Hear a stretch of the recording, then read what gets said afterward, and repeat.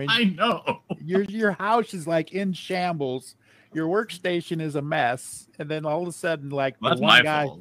Well, I'm just the one guy who who's supposed to be paying you money for something. You know, all of a sudden everybody's like, "Oh, he might be this, or he might be." That. You're kind of like, "Oh, geez, man, can anything?" Well, else that's the fall problem, right? guy?" I'm not getting paid.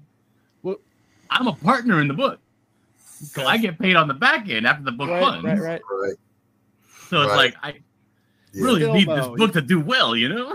You're like, it's just one. no, but more that's thing. that's the issue, Levi. That's the issue. Is like I've been for the last six months working on this book, meaning I haven't. I've been really taking a cut in pay because I've been doing this book without pay. Right? I've been Yeah. working. on Yellow Flash, you fucking idiot.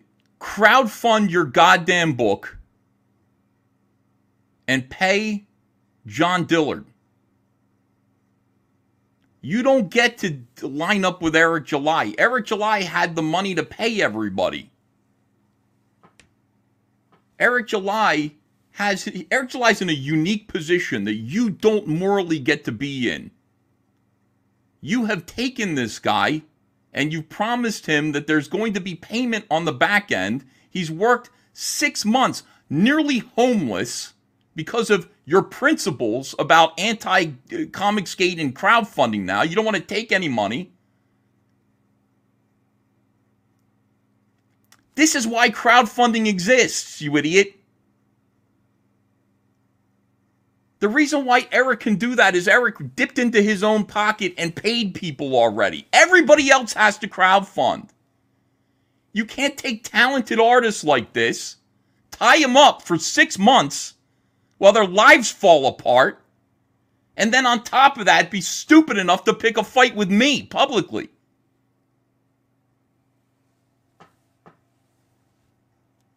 sit there and complain about me asking for tell people what my page rate is get used to start paying artists if you want to get into the comic book business and you're just a fucking talentless writer fake writer and you want to put out some fucking youtube merch and hire a real artist like john dillard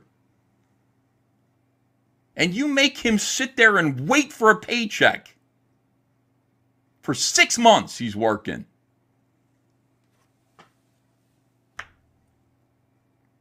And then you want to moralize about late books. You want to moralize about crowdfunding.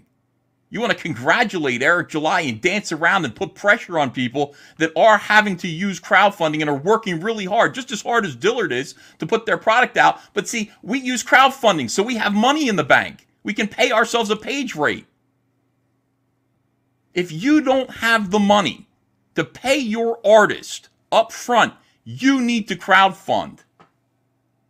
And I've never seen anything like this before in my life. You know, I, am not following John Dillard's life. I just found out about all this stuff.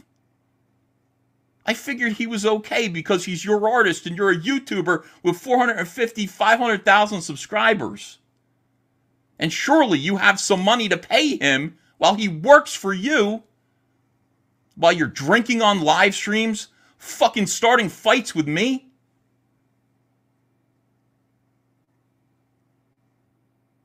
While you're doing all that, your artist didn't have Christmas and wouldn't his kids wouldn't have had a Christmas if it wasn't for the good-hearted actions of, of Comicsgaters like Dark Gift and Quaff. And this guy should be rolling in dough right now. This guy should be doing great. He's been working six months on a comic book. God only knows how many pages he's got done. I've seen some of them. They're extremely detailed. They're beautiful work. He this means something to him. He's trying to make art. He can't make art if he can't feed his kids.